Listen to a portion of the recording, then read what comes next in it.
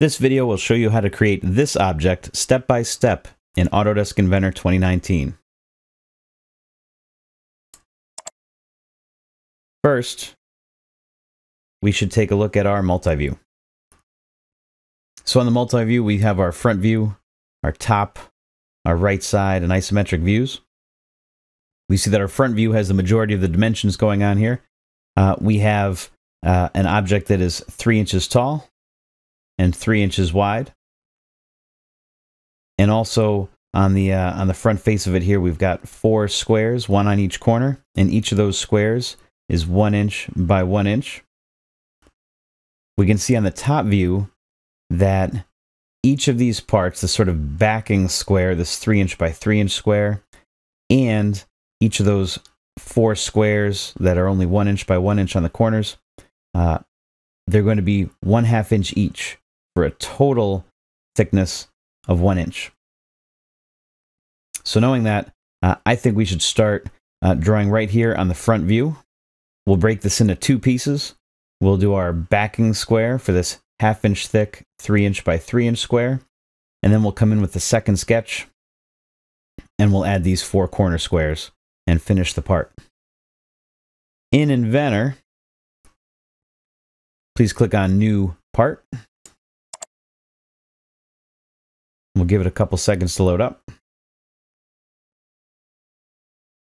And as always, uh, to start our part, we have to start with a sketch, right? So click Start 2D Sketch up at the top left.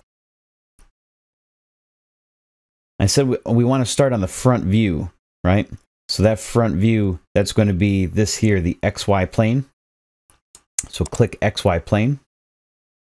We'll see we have our x-axis, our y-axis, our origin here in the middle. And we can start by drawing this square, this 3 by 3 square, uh, using the rectangle tool. Right? Click rectangle. We'll bring your cursor over to the origin at the center, and you'll notice that as you get close to it, it should snap with the green dot right to that 000 point. We'll click once and move that mouse up and to the right and you'll see our uh, dimensions so far are following our cursor here, showing uh, the width and the height of the rectangle as we move. Because I know that I want this to be exactly 3 inches by 3 inches, we can set those dimensions right now by pressing 3 on the keyboard. That'll change the first dimension to 3 inches. I'll hit Tab, and then 3 to set the height to 3 inches and enter. And as soon as we do that, uh, the size of the whole rectangle should change.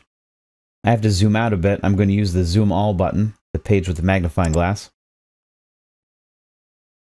And now I see that I've got my 3 inch by 3 inch rectangle. We're all ready to go. We can finish this sketch. Click Finish Sketch.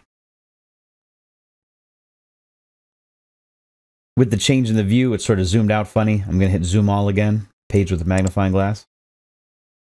I have my 3 inch by 3 inch square ready to be extruded. And remember, my thickness uh, on that back square has to be a half an inch. And then each of those smaller squares will be another half inch to make that one inch thickness overall, right? So please come up to the top left, click extrude, And right now, since there's only one shape that could possibly be extruded, it auto-selected it. Uh, and it's trying to extrude it to a distance of one inch. Uh, we don't want one inch here, we want 0.5, we want a half of an inch. So I'll change that to 0.5 and click OK. All right, with that, the first main chunk of this part is done. We have that backing square finished. And now we're going to start on these four little corner squares. In order to start the squares, we should draw the sketch right on the front of this sort of three by three square. And then at each corner, we'll draw in a rectangle. We'll make sure that they're the right size, one inch by one inch. And we'll extrude them out all together because all four of them are going the same distance. They'll, all four have to go one half inch. So back into Inventor here, we're going to start a new 2D sketch going to click on the front face of our 3 inch by 3 inch square here. And then we're going to use our rectangle tool, so click rectangle, to set up our first corner square. I think the easiest way to do this is if we hover over these lines at the corner, uh, you should see as you get to the corner here with your cursor, uh, the green dot should show up when you're directly on the corner, when it's snapping right to the intersection uh, at the corner of the part. We'll click once on the corner, start bringing our mouse in towards the center of the part, and we'll just type in using the keyboard 1, tab, 1, and enter to make our first 1 inch by 1 inch square. We'll follow this around on all three of the remaining corners. We'll hover over that top right corner until I see the green dot. I'll click once, start bringing my cursor in towards the center. Type 1, tab 1, enter.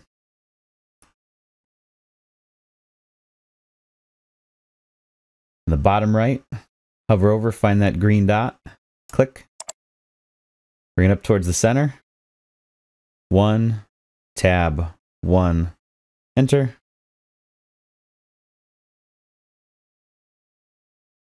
And on the last corner, again, green dot, click.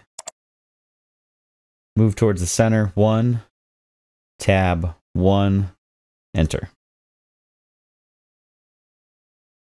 All right, with that, we have four squares, one inch by one inch on each of the corners. We should be totally ready to go at this point to finish our sketch and extrude to finish the part. The top right, finish sketch. The top left, we'll click extrude. Right now, you'll notice with extrude clicked, nothing is highlighting, nothing's previewing here because there's more than one uh, shape here that could be extruded.